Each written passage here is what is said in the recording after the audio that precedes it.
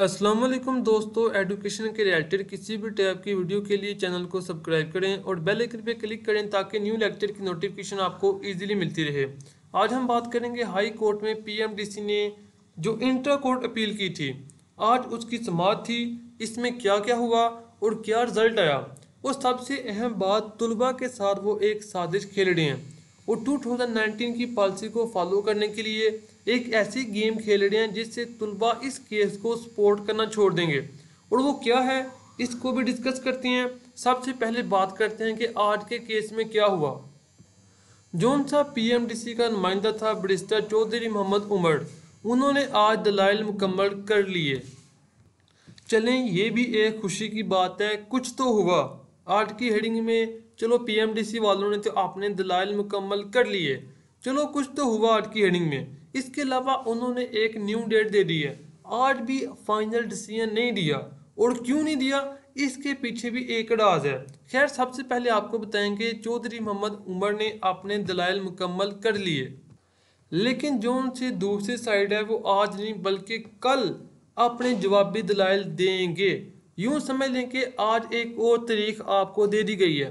تو جج صاحب تاریخ پہ تاریخ تاریخ پہ تاریخ تاریخ پہ تاریخ آپ کو دے جا رہی ہیں تاکہ جو سا ٹائم ہے وہ پاس ہوتا رہے۔ اسٹوڈنٹ کیس کو سپورٹ کرنا چھوڑ دیں۔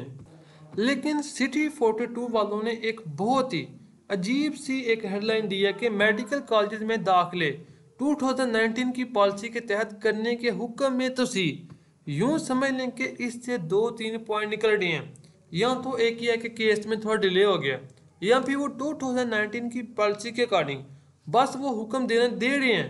لیکن اس کا حکم یہ دینا کہ 2019 کی پالیسی کے اکارڈنگ آپ ایڈمیشن کریں، یہ ایک آرڈر ہے۔ اور اسے دینے میں تھوڑی تصریح ہو گئی ہے۔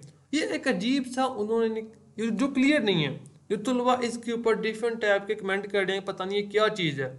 جتنے بھی کنیکٹڈ ہیں کہ وہ کیا کہنا چاہ رہے ہیں۔ تو اس میں بھی ایک انہوں نے ایک کلیئر نہیں کی بات کہ وہ کیا کہنا چاہ رہے ہیں۔ اب آپ کو میں بتاتا ہوں کہ اصل میں وہ کرنا کیا چاہ رہے ہیں۔ جیسا کہ آپ کو پتا ہوگا کہ جیسے یہ کیسز سٹارٹ ہوئے پی ایم ڈی سی کے خلاف، ہر ایک اسٹوڈنٹ بہت ہی انٹرسٹ لے رہا تھا ان کیسوں میں اور کسی ایک سائڈ کو سپورٹ کر رہا تھا۔ تو اسٹوڈنٹ جب تک سپورٹ کر رہا تھا، تب تک کیس فیس بک کے اوپر بھی عام تھا یوٹیوب کے اوپر ہر طرف۔ لیکن جیسے ہی فرسٹ میلسٹ اب دیکھیں کہ ابھی ایگزیکٹ انہوں نے کوئی ڈیسیجن نہیں دیا۔ لیکن انہوں نے ایک طرف سے کوئی حق نہیں تھا بنتا جو یو ایچ ایس کو فرسٹ میلسٹ ڈسپلے کرنے کا۔ انہوں نے کہہ دیا آپ ڈسپلے کریں۔ اس کے ساتھ ہی انہوں نے ٹوینٹی ایٹ کو ایک نیو ہیڈنگ کی ڈیٹ دے دی۔ تو آٹھ دن کا اتنا بڑا فاصلہ رکھا۔ تو یو ایچ ایس کو جب ابھی کوئی ڈیسیجن نہیں آیا تو میلسٹ اپلوڈ کرنے کا کیا ضرورت تھی؟ تو ایسا کیا انہوں نے؟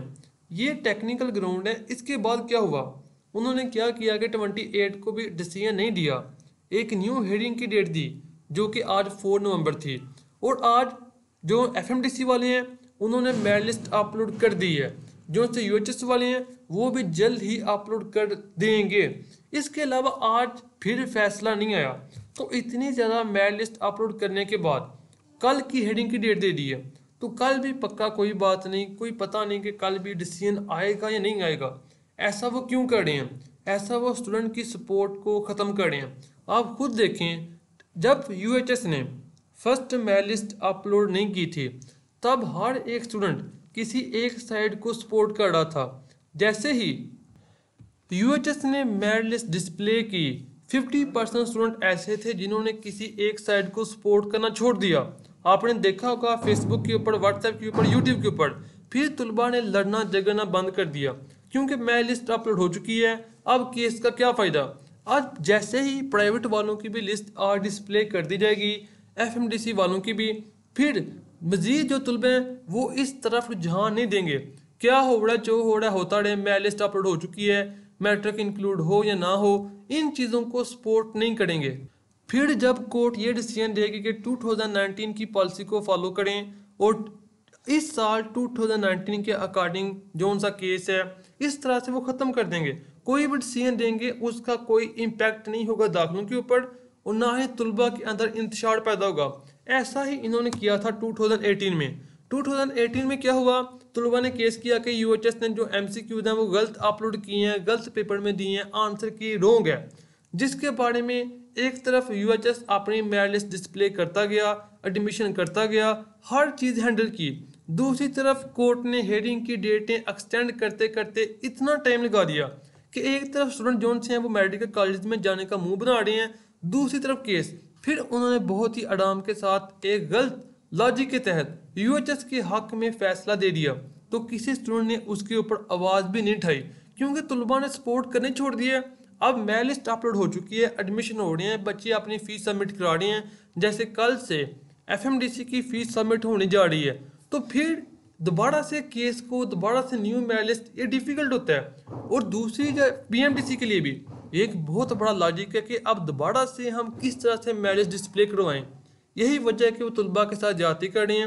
جاتی نہیں یوں سمجھ لیں کہ ایک ایسا کھیل کھیل رہے ہیں کہ طلباء کی سپورٹ بھی ختم ہو رہے اور کیس کے جو فیصلہ ہے، اس میں کوئی امپیکٹ بھی نہ پڑے۔ سوسائٹی کے اوپر، بچوں کے اوپر، بچوں کے مائنڈ کے اوپر۔ خیر، امید کرتی ہیں جو کل ہے وہ ہائی کورٹ ڈسیزن سنا دے گی۔ Hope he best of luck اللہ حافظ۔ دعا کرتی ہیں جو بھی ہو، طلباء کے حق میں ہو۔ ویڈیو کو لائک کریں، شیئر کریں اور کمنٹ میں اپنی رائے دیں۔ Hope he best of luck اللہ حافظ۔